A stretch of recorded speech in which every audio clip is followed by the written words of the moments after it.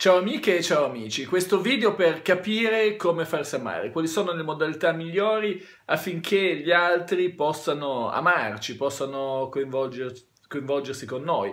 Ovviamente non le persone che non ci interessano, ma quelle che ci interessano. E volevo farti riflettere su una cosa per, come punto di partenza.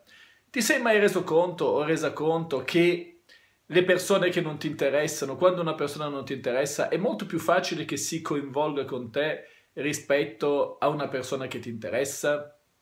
Ora, questo capita frequentemente, non è più un fatto statistico, eh, per cui uno dice, vabbè, è la casualità che porta a questo, perché altrimenti succederebbe in modo casuale, invece succede con una certa sistematicità, soprattutto a molte persone.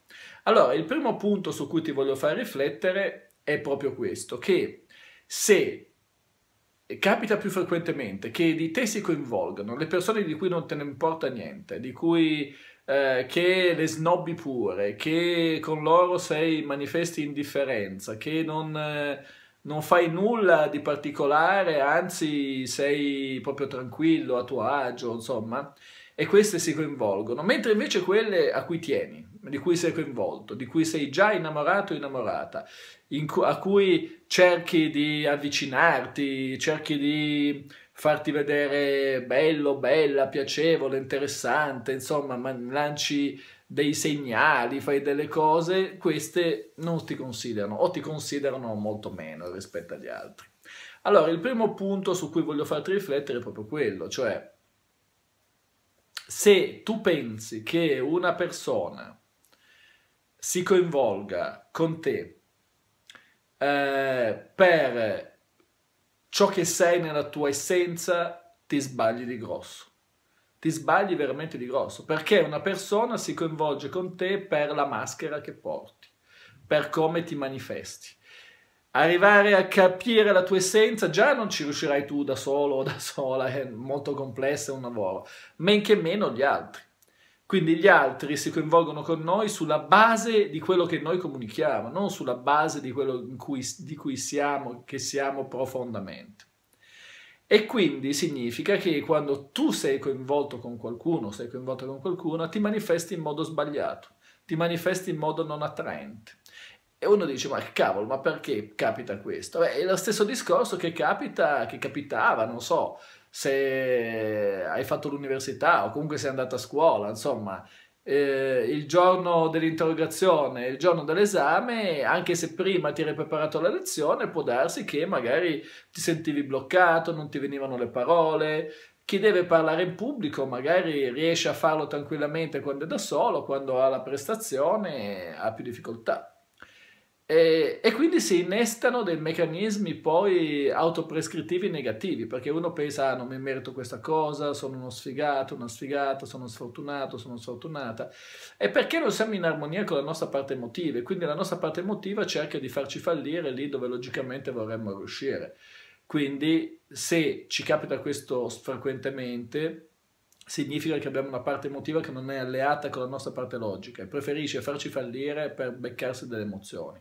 È ovvio che se ti facesse fallire con uno di cui non te ne frega un accidente, che cavolo di emozioni si prende? Non se ne prende neanche una. Però se ti fa fallire invece con quello o con quella che ti interessa, lì c'è un bel impulso di emozioni. Questo è il primo punto. Il secondo punto fondamentale per farsi amare che comunque è collegato a questo, è quello di essere in grado di amare se stessi. Sembra una cazzata, però è, è la verità. E cosa vuol dire amare se stessi? Uno dice io mi amo, ma cosa vuol dire? Amare se stessi vuol dire fondamentalmente essere veramente in sintonia con le nostre parti interiori, non essere bisognosi, perché se io delego a qualcun altro la mia felicità, o la mia felicità, dico, eh, se non riuscirò a conquistare Francesca piuttosto che Giovanna, Marzia, Giuseppina o che cavolo è, sarò infelice, eh, beh, dipenderà da queste qua, se io sarò felice o meno.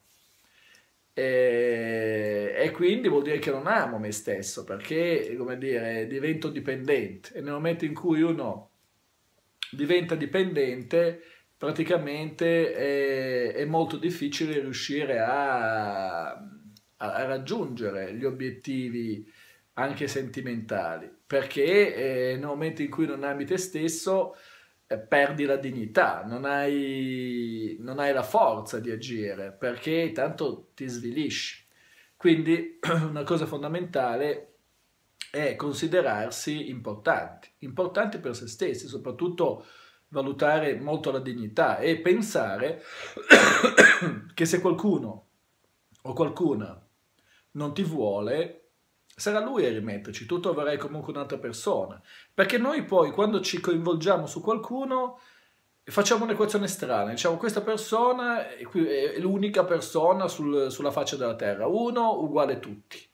Questa è l'equazione, la generalizzazione assurda che facciamo. Noi ci rendiamo conto che viviamo in un pianeta sovrappopolato dove ci sono 7 miliardi, 8 quanti sono adesso non so, di persone e tra queste persone, non so, ce ne saranno un sacco di persone che possono andare bene per noi, che possono interagire bene con noi, con le quali possiamo anche entrare in contatto, ovviamente, a meno che non abitiamo al Polo Nord, e se abiti al Polo Nord ti sposti e ti muovi un attimo, insomma, cioè non è che se abiti nel paesino, adesso non ce l'ho con, nella Barbagia, al centro della Sardegna, dove ci sono solo le capre e le pecore, e beh, ti sposterai sulla costa, dove ci sono anche altre persone.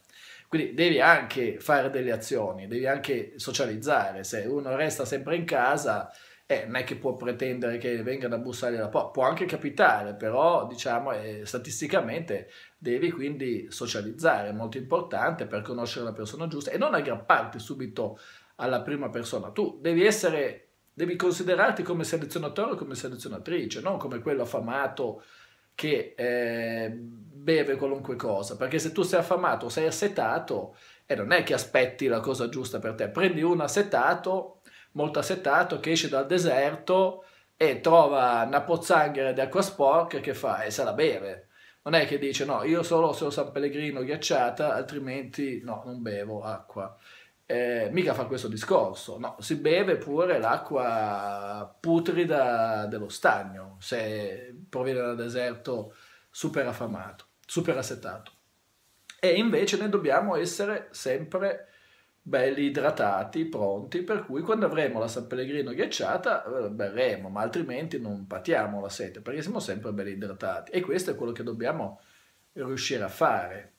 Eh, se non riusciamo a fare questo, non riusciremo mai a, a farci amare dagli altri, perché chi non ama se stesso è veramente poco probabile che possa trovare qualcuno che lo ami. Sì, troverà qualcuno che proverà pena per lui, compassione, magari qualche altro derelitto derelitta con la quale condividere una parte di cammino, però alla fine saranno sempre delle relazioni poco gratificanti, poco piacevoli. Quindi questi sono i due punti fondamentali che devi tenere presente, fondamentalissimi, se vuoi farti amare. se riuscirai a calibrare questi due punti e il terzo possono essere sicuramente le strategie di comunicazione, le strategie di seduzione. Una volta che hai trovato la persona giusta, una volta che hai il distacco dal risultato, devi anche comunicare, interagire con questa persona. E la cosa fondamentale in questi casi è capire quelle che sono le esigenze veramente emotive, profonde di questa persona, per poterle soddisfare, in modo tale che la persona possa veramente agganciarsi a te.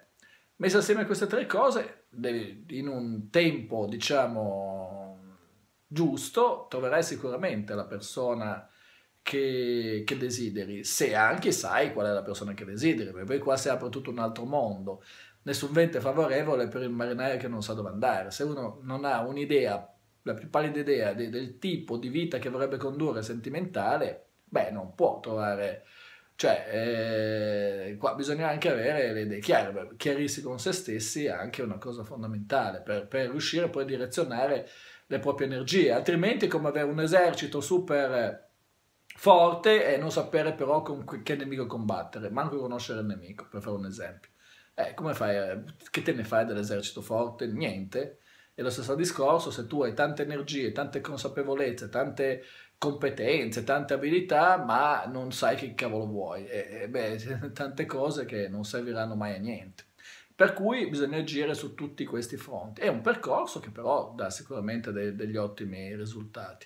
Bene, per questo video è tutto. Ti saluto. Se ti iscrivi al canale avrai la possibilità di eh, fare una domanda nei commenti ai video e io poi farò un video di risposta, diciamo così. Questo servizio è completamente gratuito ma valido solo per gli iscritti al canale e se hai voglia di divulgare questo video sui tuoi social, Facebook, Twitter e quant'altro mi fai un favore. Basta che clicchi sotto, condividi e poi lo condividi dove vuoi. Ciao, al prossimo video.